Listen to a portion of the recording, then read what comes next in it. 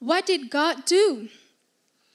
So he protected and blessed Abraham despite his lack of faith at that moment because God honored that first step that Abraham made, which was taking the step to go towards Canaan.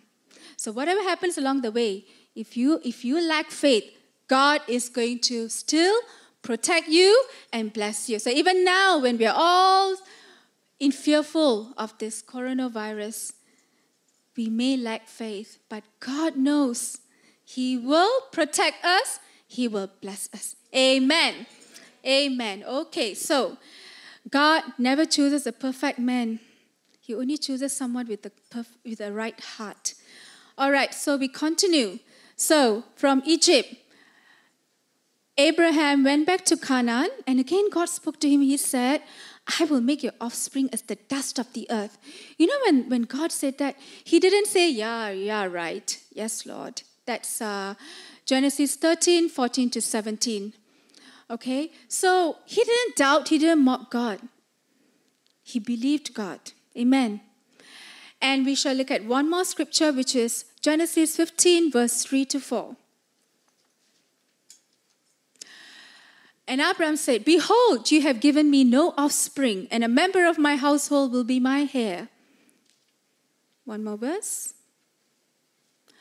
And, be, and behold, the word of the Lord came to him This man will not be your heir, your own son shall be your heir. And he said, and he brought him outside. Please continue. And he said, Look toward heaven and number the stars, if you are able to number them. And then he said to him, So shall your offspring be. And Abraham believed the Lord, and he counted it to him as righteousness. So, Abraham, you see, God gave the word 25 years ago when he was 75, and Abraham had Isaac when he was 100 years old. 25 years of waiting.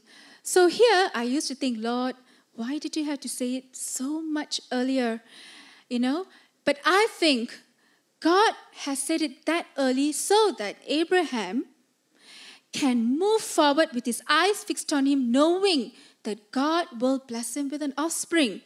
But what we tend to do is we think that when, when the Lord gives us a, a, a prophecy, we think it's going to take place in the next few months, maybe the next year, not knowing that sometimes his prophecy can be so far many years uh, in time. Example, like how uh, Pastor Stephen has said when I was 15 and a half, the Lord said that He will bring him to nations.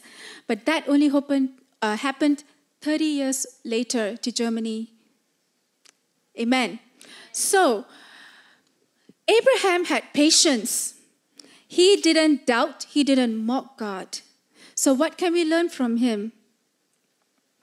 That when God gives us a word, we have to hold on to it knowing and trusting that it will come to pass. No matter how long it takes, it will happen. God always proves He is never wrong. Amen. So, therefore, Abraham was a friend of God, he was a father of faith, he was a man of courage, patience, strength. He had strong convictions, he didn't give up halfway. So, God wants people with strong convictions, with a, with a steadfast spirit, so that no matter what happens, we do not go back. When we put our hand on the plow, we will never turn back. That's the kind of people, that's the kind of laborers, children, servants that he wants. And you see, when Abraham had an encounter, he changed. That is the most important part. It's not about having the encounter and you feel goosebumps all over you and you say, Ooh, I feel like you know, floating. Some, some people, you know, you have this kind of experience. I see gold dust. They tell me that too. But the question is, did that encounter change you and transform you? That is the important thing.